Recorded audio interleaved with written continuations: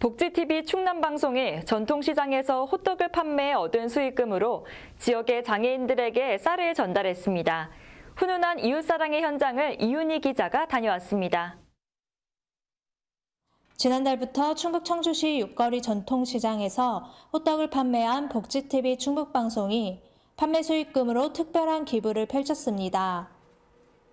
주말도 반납하며 호떡을 판매해 얻은 수익금으로 쌀 30포대를 구매해 어려운 이웃에게 전달했습니다.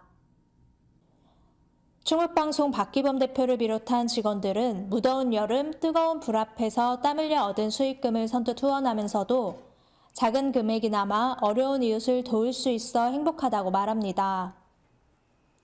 복지TV 충북방송은 평소에도 해마다 연탄과 김치, 쌀을 아낌없이 후원하며 청주시 환경정화 등의 봉사활동에도 적극 동참하고 있습니다.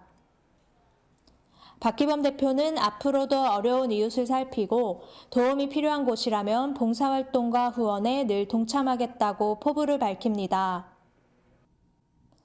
쌀 30포대는 복지TV 충북방송 장애인 후원회를 통해 지역의 장애인 가정에 전달했습니다. 나보다 남을 더 돌아보는 작은 배려가 모여 메마른 세상을 훈훈한 온정으로 물들입니다. 복지TV 뉴스 이윤희입니다.